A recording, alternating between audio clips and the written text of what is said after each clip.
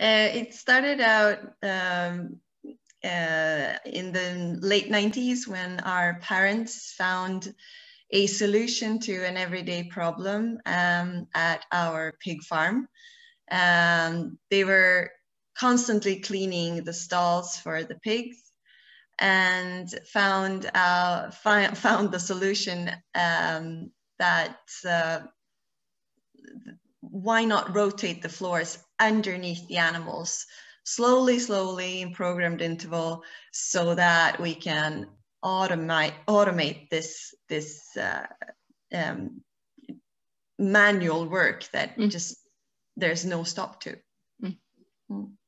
We're, we're, brought up on a pig farm, and the, the moving floor project uh, was sort of our sibling in growing up.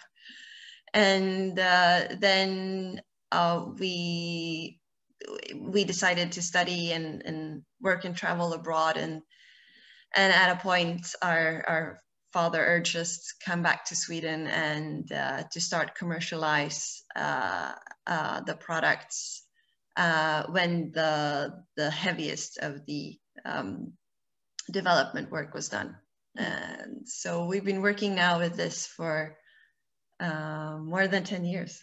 The agricultural uh, business actually stands for 25% of all the greenhouse gases globally. And due to um, the growing global population, um, we need to double the food production by 2050 and at the same time reduce the negative environmental impact by 50% in order to, to reach the two degree uh, goal set in Paris. So we're working within an industry that drastically needs to change, and that's where moving floor uh, can contribute. Um, with our technology, we can reduce the water usage by 100%. We can reduce the greenhouse gases emissions up to 19% per kilometer uh, produced, and we can also lower the, the antibiotic consumption uh, Actually, in the beginning, our father was um, very determined uh, to improve the hygiene in the barns to solve the antibiotic uh, consumption. So that was really his um, his main uh, goal. But uh, then, as the technology evolved and developed, um, he realized that uh, we actually have, the, the technology is actually a clean tech solution. So it all depends on also uh, where in the world you are located. Um, in, for instance, in China, where water scarcity is a big issue, and the current system used uh, demands up to 170 liters of water per pig per day for daily cleaning out, then of course our technology saving 100% of that water uh, makes a huge impact. So um, we, we have realized that uh, different uh, geographies and different technologies, um, like compared technologies, um, can can really um, uh, be improved by by the use of moving floor. It, it, it it boils down to margins in the end, right? So you you have the pigs, you feed the pigs, what you get out in the end is is your profit. So uh, it's extremely important to to um, maintain a, a, a a good growth rate, and that can be done by avoiding the, the occurrence of, of subclinic disease. So we see that's what we think is a key. If we, when we keep the animals in a very hygienic environment, um, they seem to be converting. They need less feed to, to grow. So that's the main uh, contribution when it comes to the carbon footprint is not compensating uh, lacking hygiene with with more feed or antibiotics for that for that matter. So, so the average payback um, time is three years, uh, re regardless of, um, of dairy farms or, or pig farms. Mm.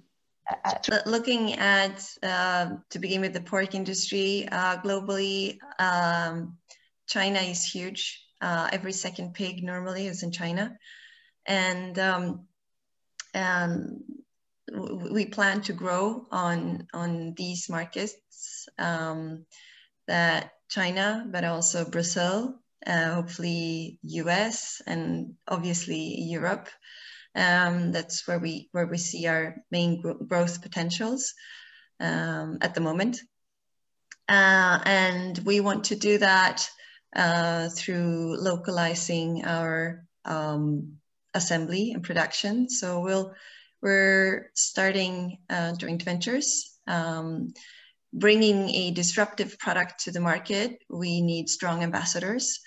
Um, so we will um, establish these partnerships with strong ambassadors, uh, localizing production, and setting up demo farms. And that is our scale up plan.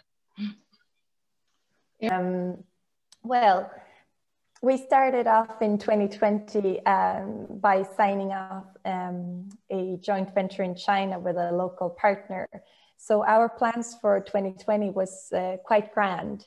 Mm-hmm. Uh, we were to to uh, to start the um, the local production and sales in China at the beginning of the year.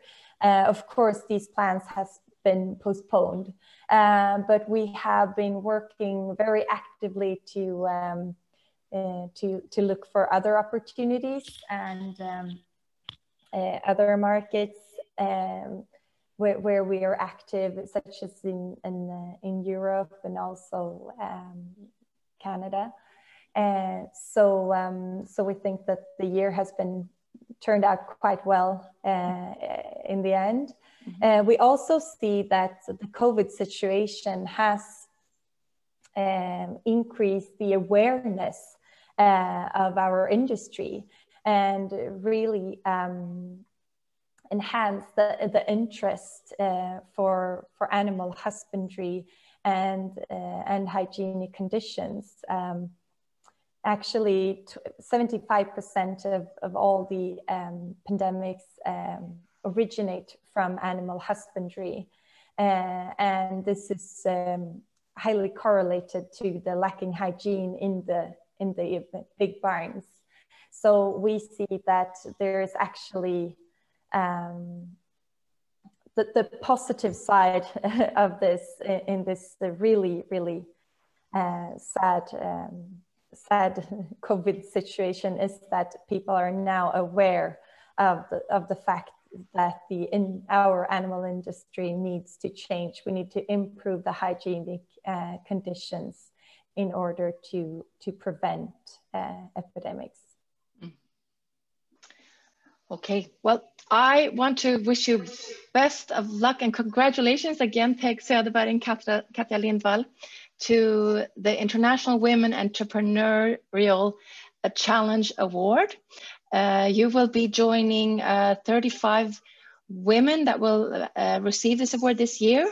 And um, it's a great group of over 300 women that have received it since uh, 2012 Uh, seven when it was started. So I'd really congratulations. You're in a great network of internet women that want to scale up internationally and